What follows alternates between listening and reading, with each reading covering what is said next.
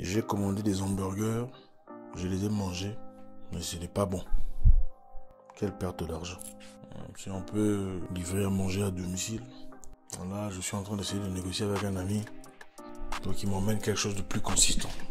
Il y a une maman là qui cuisine bien. J'espère que je me suis finalement reprendre parce que vous savez, quelquefois, quand ce n'est pas bon, mais vous vous rassasiez, là, on peut dire, ok, on va dormir. Bon, ce n'est pas bon, ensuite on se rassasie pas. Ah.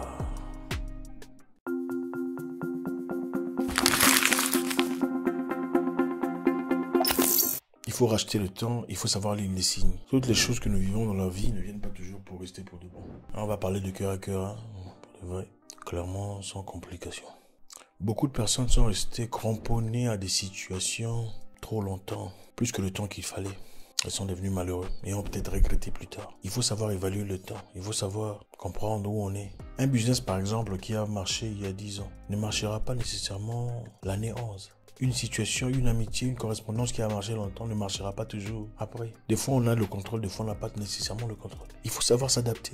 Le fait d'être parti quelque part en refuge, parce que la plupart, ce sont des réfugiés. Hein, il faut l'avouer, la plupart des Noirs là-bas sont réfugiés. Même à l'église, on va mentir. Bon, ok, moi, on m'a terrorisé, on voulait me tuer. Mais bon, on devient pasteur pour prêcher les gens. bon, on est venu dans le mensonge. Bon, ça, c'est entre parenthèses. Il faut savoir lire le temps. Vous partez quelque part pendant un temps. Il arrive un moment où il faut quitter changer de milieu. Vous savez, en 1994, au Canada, se créait une entreprise qu'on appelait RIM. RIM est l'entreprise gérée par deux étudiants qui ont finalement créé ce que vous appelez BlackBerry. Hein, je ne sais pas si vous vous souvenez BlackBerry, n'est-ce pas? BlackBerry était le téléphone de rêve pour beaucoup de personnes. Dans les années 90 jusqu'à 97, BlackBerry était au top. BlackBerry avait 20% du marché mondial de téléphones portables. 20% c'était un téléphone différent. BlackBerry à l'époque fournissait beaucoup d'efforts pour le marketing. On partait dans des lieux où il y avait des professionnels qui travaillaient avec des ordinateurs et on leur donnait des BlackBerry gratuits pour voir comment ils réagissent. Et à certains, on leur prêtait des BlackBerry pendant un mois pour utiliser et finalement décider s'ils en voulaient ou pas. BlackBerry était le premier téléphone qui avait l'apparence d'un ordinateur, n'est-ce pas Vous vous souvenez Moi, vous appelez moteur de recherche pour Internet. BlackBerry était adapté pour le monde professionnel. Et tous les professionnels cherchaient d'acquérir un téléphone BlackBerry.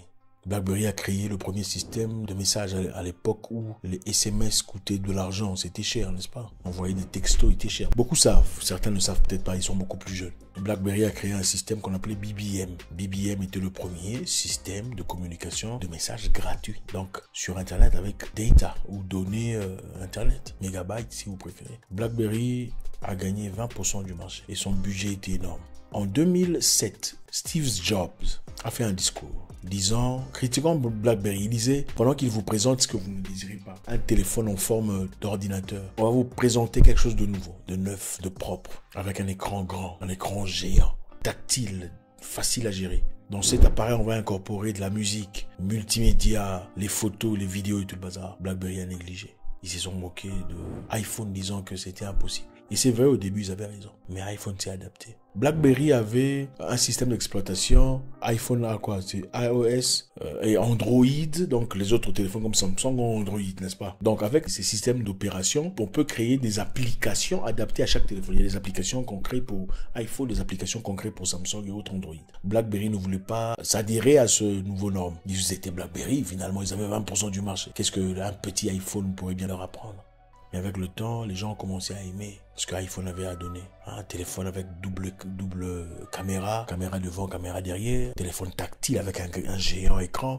BlackBerry a gardé ses manettes, c'est-à-dire euh, son, son keyboard, son, son clavier là. Les années sont passées. BlackBerry en 2016 avait fabriqué son tout dernier téléphone. Aujourd'hui, ils sont nulle part. Ils créent des logiciels informatiques. Ils avaient laissé passer leur opportunité. On fera une vidéo plus adaptée sur l'histoire de BlackBerry. Ici, c'est juste en passage. C'est-à-dire, BlackBerry n'a pas su comprendre le marché. Il n'a pas su comprendre l'orage. Il n'a pas su s'adapter à ce qui se passait en ce moment. Il y avait une transmutation totale dans ce monde de technologies. Ils n'ont pas voulu s'adapter à ce que le client cherchait. BlackBerry, au lieu d'écouter ce que la clientèle cherchait à l'époque, ils ont voulu imposer ce que eux désiraient. Ils ont tout perdu. De 30% du marché à aujourd'hui 0,05%, qui ne symbolise pratiquement rien. Il faut savoir lire le temps. Je ne sais pas comment ça s'adapte dans votre vie personnelle.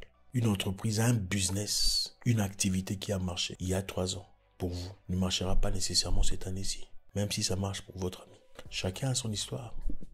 Chacun a son parcours, chacun a sa destinée. Il faut savoir lire dans votre cas où est-ce que ça va, où est-ce que ça vous mène? La ville dans laquelle vous viviez il y a un temps n'est pas nécessairement la ville dans laquelle il faut vivre aujourd'hui.